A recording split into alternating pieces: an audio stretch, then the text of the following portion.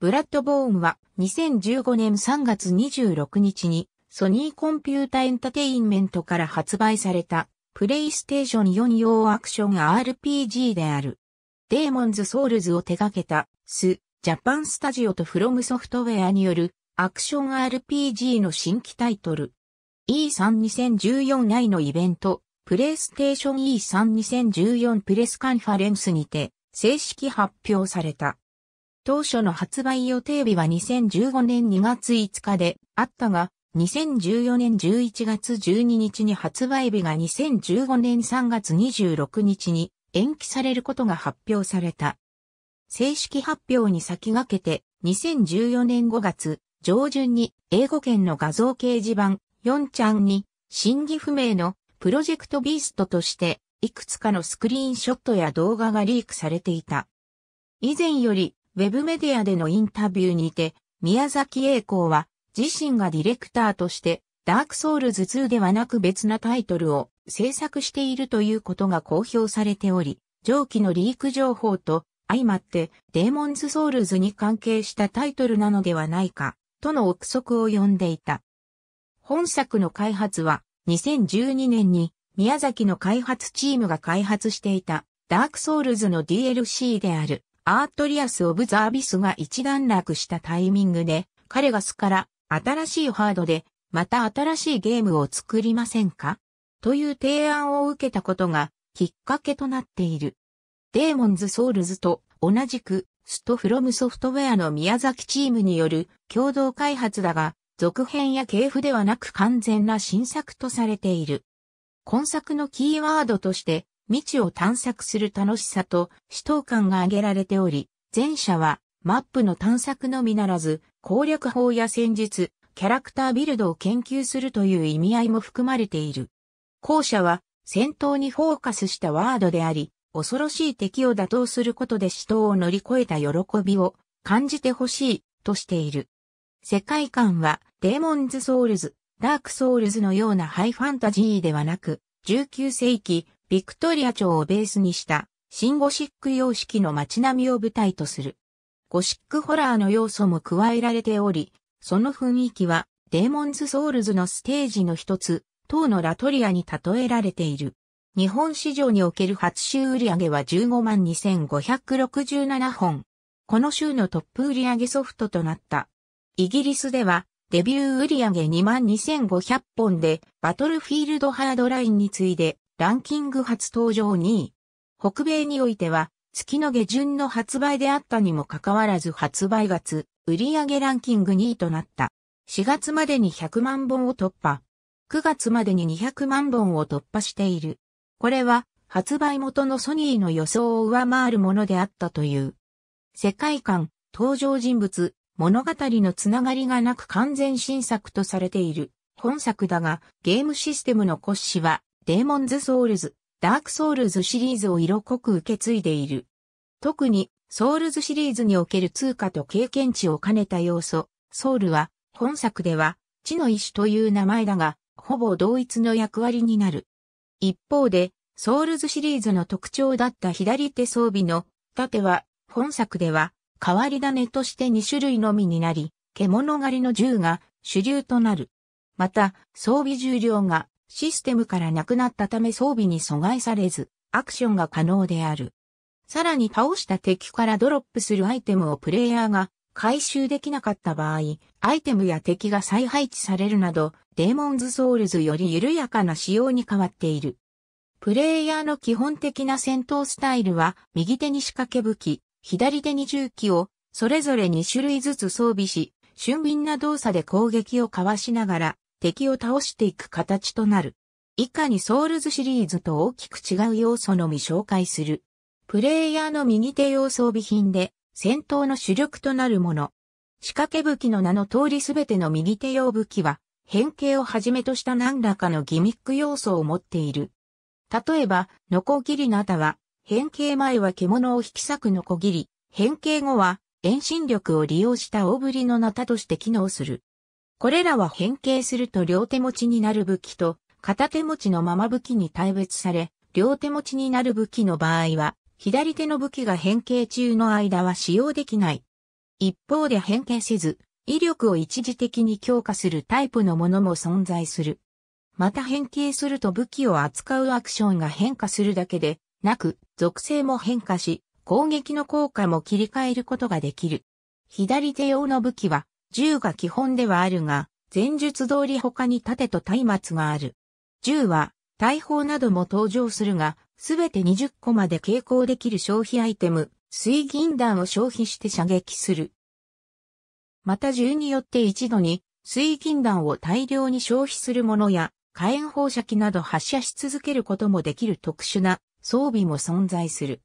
なお右手装備と違い変形するもの、両手持ちの武器は登場しない。銃は遠距離攻撃用の装備でもあるが、ソウルズシリーズの特徴であるパリーにも使用される。ただしソウルズシリーズの弓やボウガンのように1、認証視点に画面が切り替わって照準体制を取ることはできないため、いわゆる狙撃はできない。本作の盾はいずれもソウルズシリーズのように、スタミナの許す限り攻撃を受け続けられるような、頑強なものではないが、特定の攻撃に対して有効な場面が存在する。松明は振り回して武器として使うこともできるが主に暗闇で視界を確保するために用いる装備で手に持っている状態であれば明かりとして使うことができる。特に本作では暗く視界の悪い場所が多く、この松明の明かりが役立つ場面は多い。また盾と違い強化することもできる。輸血液は回復アイテムの一つだが本作では、独占的かつ最も有効な手段となっている。輸血液専用として割り当てられたボタンを押して使用すると最大 HP の40%に当たる量を瞬時に回復する。他のアイテムと異なり、アイテムスロットに装備することができず、必ず画面左上のスタミナゲージの下に、専用スロットに所持数が表示される。所持上限は20個だが、エリアに配置されていたり、敵を倒した時に手に入ることが多く、攻略中に使用と補充を繰り返すことが一般的である。輸血液以外にも、ヨセフカの輸血液など回復アイテムは他に少数存在するが、どれも所持数が1個までであり、代替手段にはなり得ない。ソウルズシリーズのエストビンと違い自然に補充されることがない。他のアイテムと同じく所持数を超えると倉庫に保管され、入手手段は購入するか回収するしかなく、保管された分もなくなると自動で補充されることはない。また、回復量を上昇させる、枯れる文字も登場するが、あまり有効ではない。水銀弾は、銃撃や、秘技の使用など、要所のアクションで消耗するアイテム。輸血液同様、こちらも、基本的な所持上限は20個であり、必ず画面左上のスタミナゲージの下に所持数が表示され、アイテムスロットに搭載することはできない。購入するほか、攻略中に入手する機会が多く、特に銃や秘技で攻撃してくる敵を倒した時に手に入る傾向にある。また HP を消費して、緊急補充により、任意にその場で補充できる。ソウルズシリーズの親やボルトと違い種類は他に登場しない。使用者の血液を混ぜているという設定がなされており、地質というステータスによって威力が変化する。リゲインとは、プレイヤーがダメージを受けた直後のわずかな間に敵を攻撃することで、HP が回復するシステム。敵の攻撃を受けた場合でなく、落下やトラップによるダメージを受けた場合でも発動する。リゲインできる HP 量は使用する武器によって違いがある。ただし活動中の敵に限られ、倒した敵の死骸などを攻撃しても回復しない。ソウルズシリーズには採用されておらず、ブラッドボーンの特徴とも言えるシステムである。本作はそれぞれ特定のイベントを迎えると、プレイの進捗状況が移行したとみなされ、夕刻、小、月夜、青ざめた地の夜に変化する。これは主にオンライン環境における他のプレイヤーとのセッションに影響し、前半の時間帯にあるプレイヤーは、後半の時間帯のプレイヤーとはマッチングしない。他にも様々な変化が発生し、攻略に関わる要素になる。ブラッドボーン・ザ・オールド・ハンターズは、2015年11月24日にプレイステーションストアにてソニーコンピュータエンタテインメントから有料配信された本作のダウンロードコンテンツである。また、本編とこの DLC をセット収録した完全版、ブラッドボーン・ザ・オールド・ハンターズ・エディションが2015年12月3日に同社から発売された。古い狩人たちが囚われた悪夢の世界を舞台としたもので、新たなエリアとボス、武器、防具、アイテムなど、全般的に新要素が追加されている。ゲーム中盤には訪れることが可能だが、その難易度はその時点としては極めて高く設定されている。本編のキャラクター音声設定は英語とイギリス英語のみだったが、この DLC を適用することで本編も含めて日本語版音声でプレイすることが可能となる。かつて映画を極めたことヤーナムは今や忘れられ、フード病、獣の病がはびこっていた。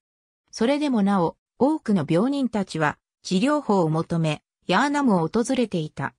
ヤーナムへ来た病人の一人である主人公は、そこで、獣の病の罹患者である、闇人を狩る人々と出会う。